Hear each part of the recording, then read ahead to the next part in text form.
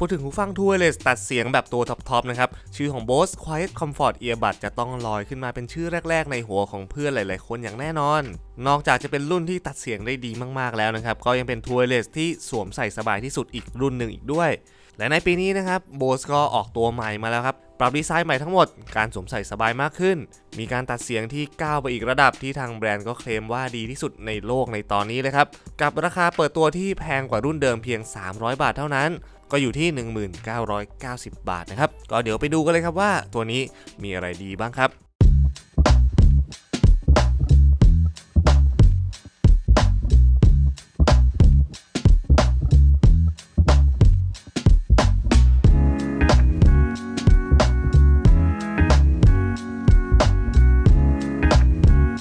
เริ่มแรกกันที่ดีไซน์เลยครับ ตัวหูฟัง Bose Quiet Comfort Earbud เนี่ยก็มีให้เลือกระหว่างสีดำ Triple Back และสีขาว Soapstone เช่นเดียวกับรุ่นก่อนหน้าเลย รุ่นนี้เขาก็ปรับเคสให้เล็กลงนะครับ จากรุ่นก่อนเนี่ยที่ค่อนข้างหนาเวลาพกใส่กระเป๋าเนี่ยค่อนข้างเกะกะเลยครับ รุ่นนี้เขาก็ปรับตัวเคสของหูฟังปรับดีไซน์ใหม่ เล็กลงมากๆครับน้ำหนักก็เหลือราวๆแค่ 73 กรัมพกพาได้สะดวกขึ้นครับ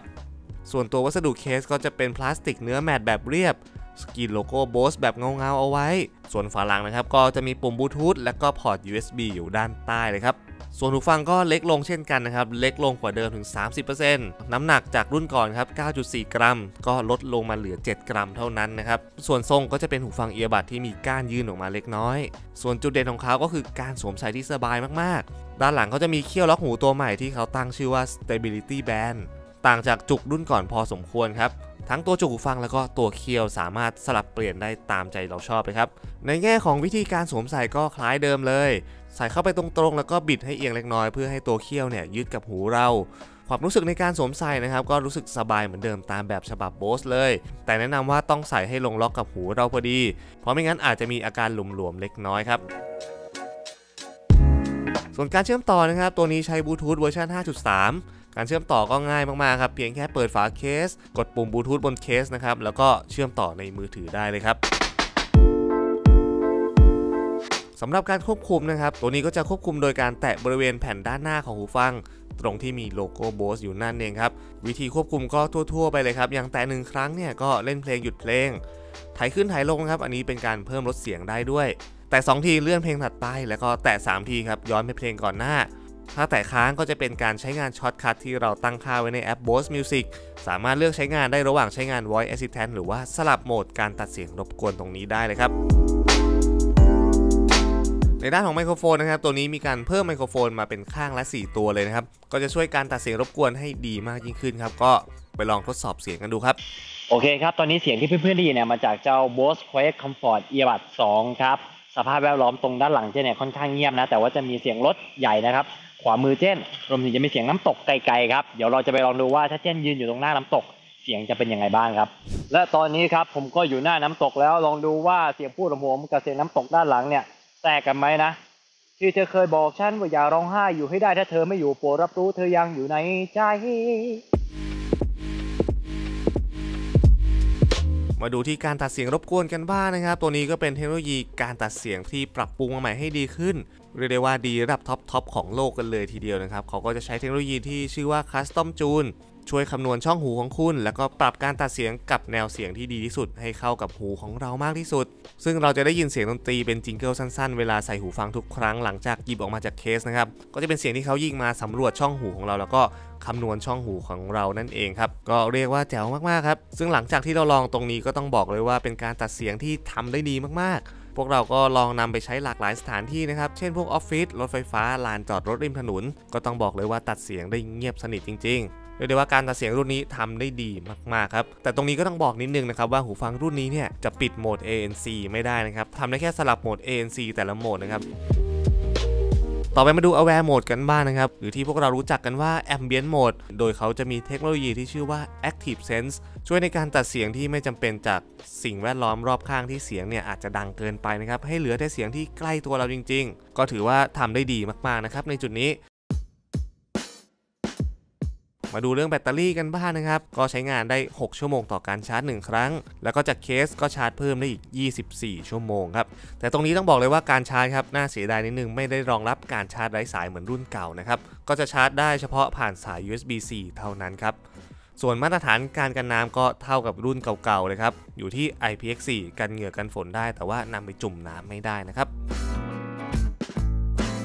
ในส่วนแอปพลิเคชันนะครับ ก็จะใช้แอป Bose Music ใช้งานง่ายไม่ซับซ้อนนะครับ ก็สามารถปรับตั้งค่าในนี้ได้ทั้งหมดเลยนะครับก็เดี๋ยวมาดูกันคร่าวๆนะครับ อย่างแรกก็คือโหมดนะครับเอาไว้ปรับโหมดสำหรับการตัดเสียงรบกวน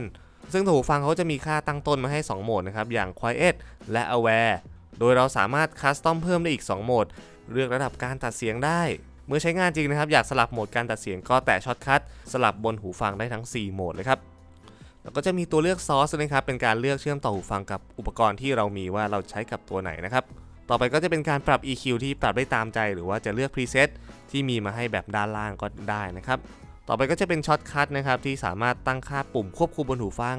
จะเปิดใช้งานหรือปิดการใช้งานก็ได้นะครับ อย่างเราตั้งนะครับ ก็เลือกข้างหนึ่งเป็น voice assistant แล้วก็อีกข้างหนึ่งก็จะเป็นโหมดตัดเสียงรบกวนครับ อีกจุดหนึ่งนะครับก็ ear tip fit test นะครับก็สำหรับคนที่ไม่มั่นใจนะครับว่าใส่จุกหูฟังได้ถูกต้องตามสรีระของหูเราไหมนะครับก็สามารถทดสอบได้ในตรงนี้เลยครับ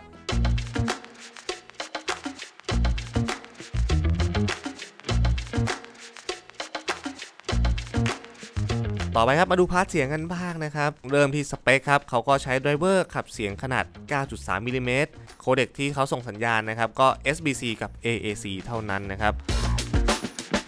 จากที่เราฟังนะครับเสียงที่ได้เนี่ยก็ตามแบบฉบับ Bose เลยครับมีความนุ่มละมุน เสียงออกโทนอุ่นๆ ฟังสนุกเบสลูกใหญ่แต่ว่าไม่มีอาการบวมให้เห็นเลยครับ มีแรงปะทะแบบนุ่มๆกำลังดี ย่านเสียงกลางได้ยินรายละเอียดชัดเจนทั้งเครื่องดนตรีและเสียงร้อง เนื้อเสียงก็จะมีความอิ่มแล้วก็มีความหนาอยู่ระดับหนึ่งเลยครับฝั่งของเสียงสูงนะครับก็หางเสียงค่อนข้างทอดยาว มีประกายเล็กน้อย แต่ว่าก็เป็นตามสไตล์โบสครับไม่ได้เป็นแหลมบาดหูแต่อย่างใด ส่วนเวทีเสียงพวกเราก็คิดว่ามีความกว้างกว่ารุ่นก่อนหน้าเล็กน้อยฟังง่าย ไม่หยุดอัด เสียงนักร้องยืนลึกเข้าไปตรงกลาง ส่วนเครื่องดนตรีก็สามารถแยกแยะได้ชัดเจนทั้งซ้ายและขวา โดยรวมก็เป็นหูฟังที่ฟังสนุกทุกแนวเช่นเคยนะครับถ้าเป็นสายฟังเบสหนักๆนะครับ ก็แนะนำให้ปรับ preset EQ ไปที่เบสบูทเลยครับ เพิ่มความหนักเพิ่มความกระแทกหูได้ดีทีเดียวครับ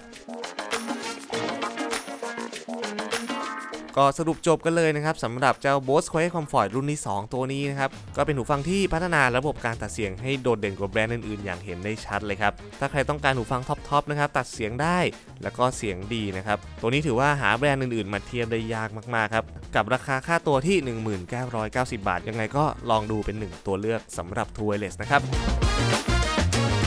ส่วนใครที่สงสัยนะครับว่าตัว Bose เนี่ยต่างกับตัว Sony ขนาดไหนนะครับ บอกเลยว่าตัว Sony ก็จะมีความได้เปรียบตรงที่ขนาดเล็กกว่านะครับ แล้วพวกสเปคเนี่ยดีกว่าด้วยนะครับ อย่างพวกโคเด็กเนี่ย Sony จะรองรับโคเด็กคุณภาพสูงอย่าง LDAC แต่ถ้าวัดกันที่เรื่องการตัดเสียงจริง ๆ นะครับ พวกเราก็ให้คะแนนทางฝั่ง Bose Quiet Comfort ตัวนี้เยอะกว่าด้วยครับ ก็รู้สึกว่า Bose ตัวใหม่เนี่ยตัดเสียงรบกวนได้ดีกว่า Sony จริง ๆ ครับ